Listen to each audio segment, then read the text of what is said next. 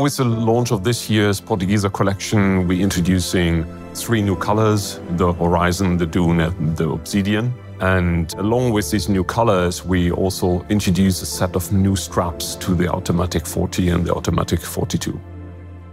On the Automatic 42, for example, we introduce for the first time a metal link bracelet on the other watches, we find a good combination between classic alligator straps, emphasizing the elegance of the Portugieser, but also some more contemporary solutions using calf leather with a beautiful finishing done together with the Italian shoe manufacturer and leather accessories manufacturer Santoni.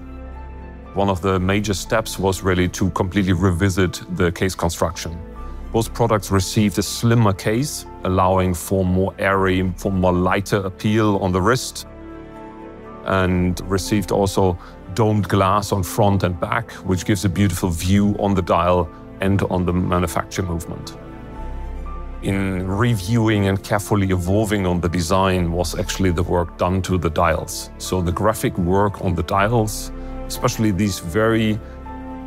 clean, very pure dials that are so much Portugieser on the automatic 40 and the 42, the changes we were able to do there were very little. And we had to find a good balance between exactly this Portugieser cues, like these slim feuille-shaped hands, the railroad track chaptering, but still do something to the graphics which adds refinement and purity.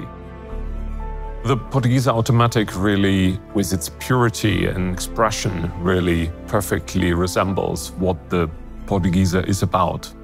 Especially the automatic 40 is truly inspired by the original Portugieser from the 1930s, with the three hands layout and the small hacking seconds at 6 o'clock position on the dial, while the automatic uh, 42 really became an IWC icon in the years 2000 because it was the first watch featuring the strong caliber 5000 with a seven days power reserve and with its two counter layout, three and nine o'clock really became an IWC design statement and still is.